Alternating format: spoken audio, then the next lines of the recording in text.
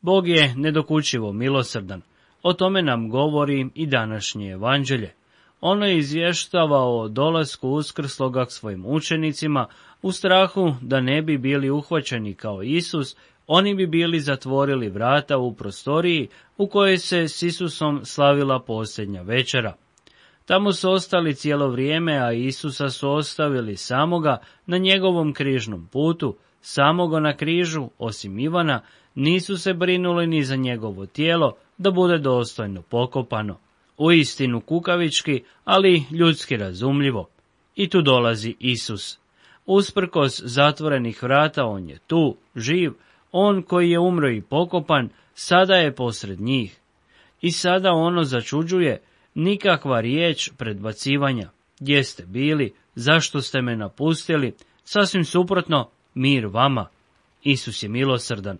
On ih poznaje u dubinu, poznaje i razumije njihove strahove, umjesto predbacivanja mir.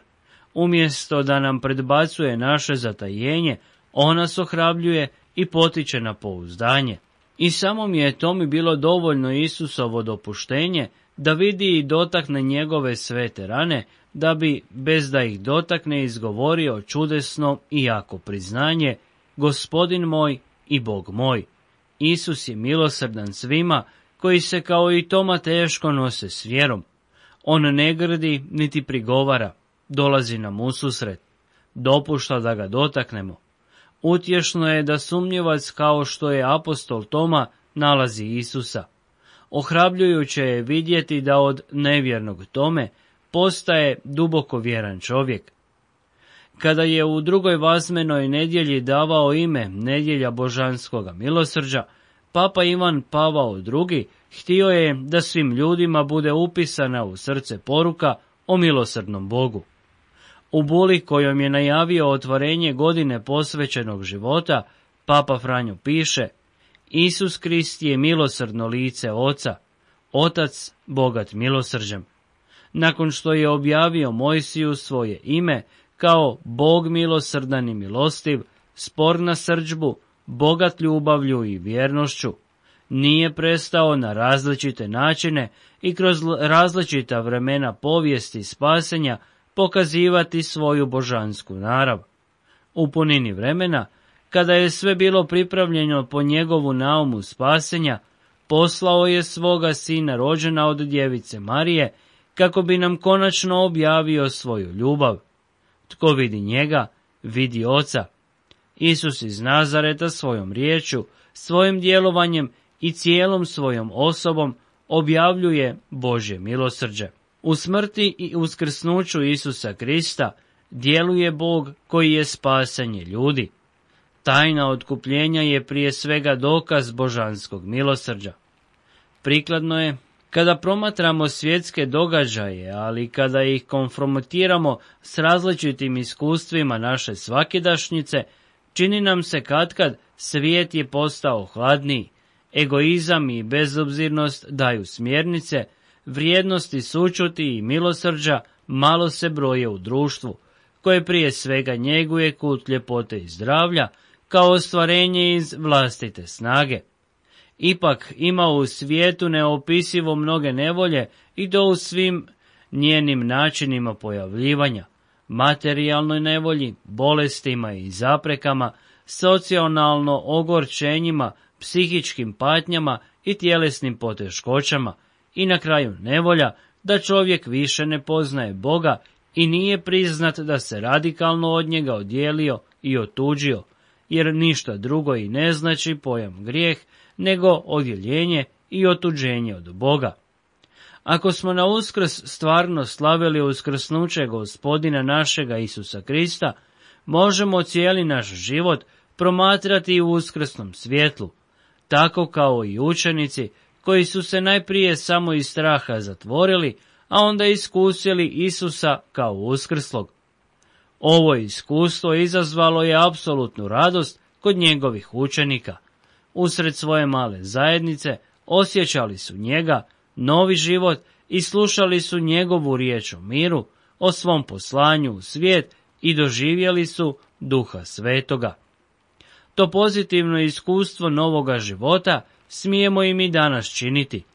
Također, i mi smijemo Krista uskrsloga čuti kako govori u našoj sredini po svojoj riječi evanđelja kako smo upravo to i doživjeli. On i nama govori, mir vama, ne bojte se, šaljem vas i primit ćete snagu duha svetoga i možete opraštati grijehe. To znači, vi možete započeti sasvim novi život za sebe i s drugima.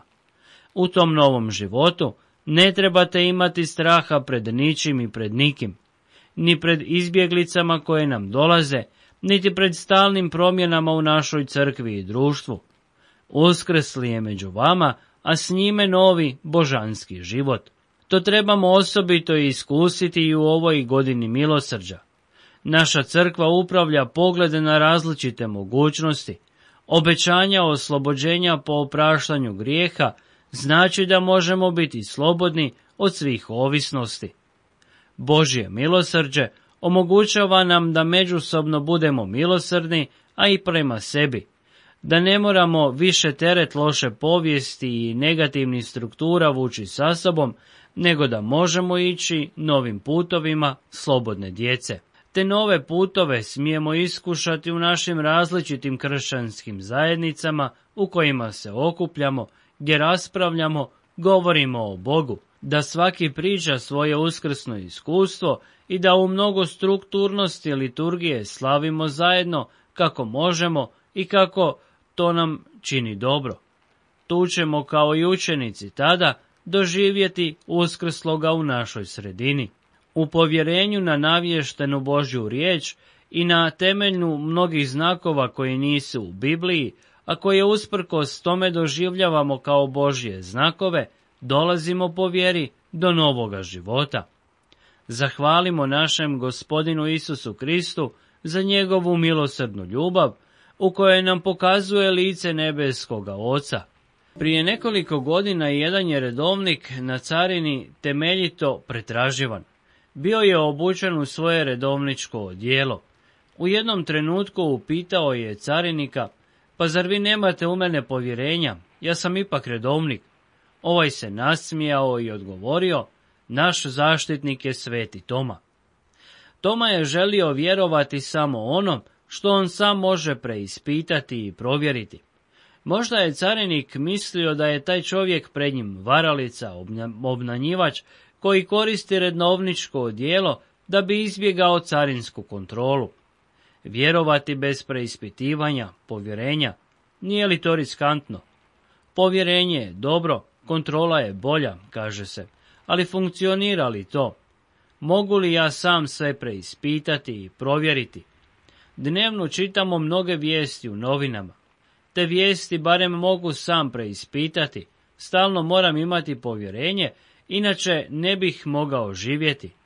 Ako sjedam u vlak, imam povjerenje da je sve u redu, da su vagoni u redu i da željezničari pouzdano vrše svoju službu. Kako je to s povjerenjem u Boga? Kako je s vjerom u Krista i njegovo uskrsnuće? Moram li slijepo vjerovati, potpuno neprovjereno? Boga nitko nije vidio, kaže se u Bibliji.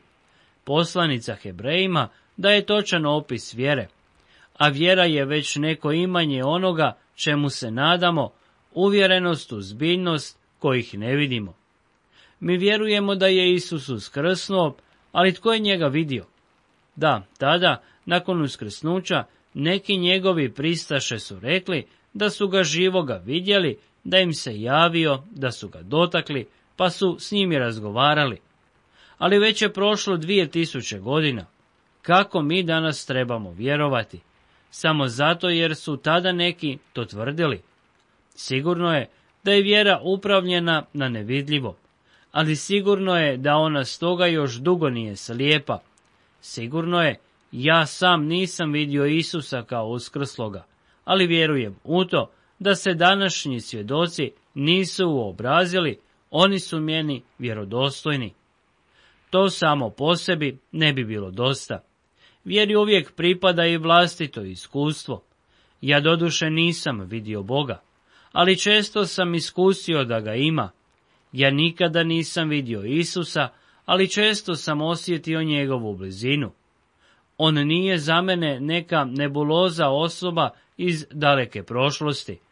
On živi i kod nas je u sve dane kako je i sam obećao. Jesam li samo uobražen? Vjerujem da nisam. Nisam sam koji vjeruje, ja sam u jednom velikom zajedništvu raširenu po cijelomu svijetu, koji isto tako vjeruje u Krista. Mnogi od njih mogu kazati da ja živim u svome životu to da ima Boga i da Isus živi. On mi je blizu, ja doživljavam njegovu pomoć, ja ga ne vidim svojim očima, ali srcem znam, on je tu. Hvala ti, gospodine, za sve što sam danas primio od tebe. Hvala za sve dobro što si mi danas iskazao, za kušnje kroz koje si me provlačio. Hvala ti za pomoć koju si mi pri radu i u životu pružao. U ruke tvoje, gospodine, predajem duh svoj.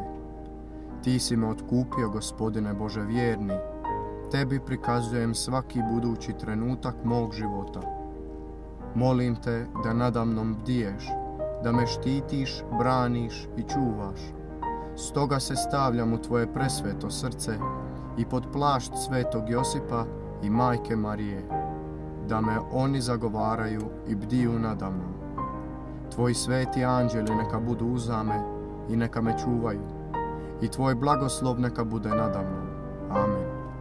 Slava Otcu i Sinu i Duhu Svetom, kako bijaše na početku, tako i sada i vazda i u vijeke vjekova. Amen.